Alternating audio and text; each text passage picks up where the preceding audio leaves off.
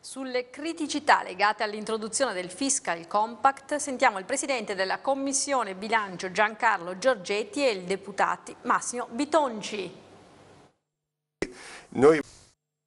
la Lega Nord esprimerà un voto assolutamente contrario alla ratifica del Fiscal Compact e del meccanismo europeo di stabilità. Ad annunciarlo nel corso di una conferenza stampa alla Camera dei Deputati il capogruppo del Carroccio Giampaolo Dozzo con Maurizio Fugatti. Il nostro inviato a Montecitorio Davide Cordua. Mm. Vogliamo così, eh, attraverso questa conferenza stampa, dire innanzitutto che un dibattito imperniato e noi per esempio del gruppo della Lega abbiamo un'ora in discussione generale e un'ora per le dichiarazioni di voto e per gli emendamenti su tre trattati così importanti, limitare il dibattito in una giornata su una questione in cui per esempio la Germania si deve, eh, così, eh, l'alta la corte di Karlsruhe si deve eh, pronunciare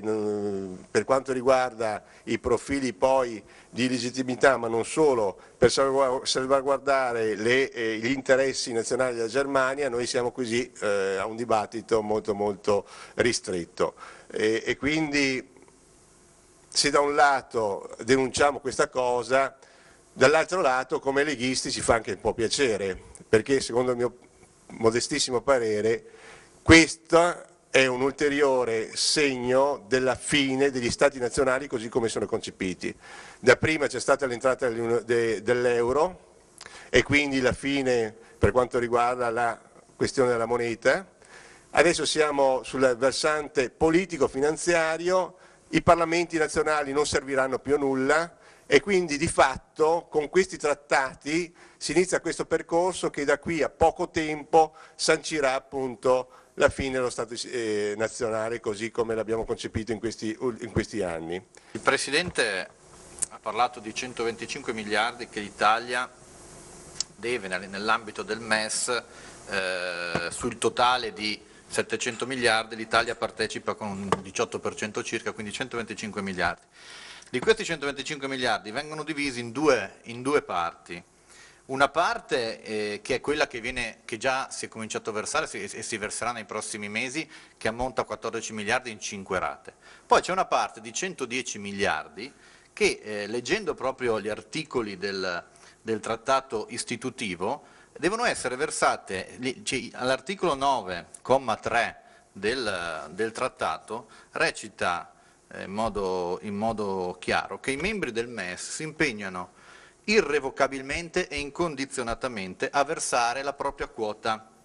di capitale. L'articolo 9 parla entro sette giorni dalla richiesta, quindi noi eh, aderendo al MES eh, dobbiamo versare una quota che magari la prima quota è una quota pur di 14 miliardi, è rilevante per il nostro paese, però uno dice eh, vabbè, ma la seconda quota, se ci venisse chiesto, lo dobbiamo versare entro sette giorni in modo irrevocabile e incondizionato dal momento della, della richiesta. E non è detto che la si debba versare per eh, gli interessi dell'Italia, la si deve versare perché decidono così, dopodiché si vedrà per quali ed eventuali ed eventuali eh, interessi. Voi capite cosa vuol dire per il nostro Paese eh, 110 miliardi a trovare in sette giorni, perché lo dice il trattato, eh, cosa vuol dire trovare? Noi ogni anno eh, andiamo ad emettere circa 300-400 miliardi sui titoli di Stato, quindi 110 miliardi è un quarto della della totale emissione dello Stato italiano in termini di titoli di Stato. Da questo trattato non si può uscire, non, previsto, non sono previste eh, le clausole eh, di uscita, è un trattato istitutivo che non prevede la possibilità, la possibilità di uscita.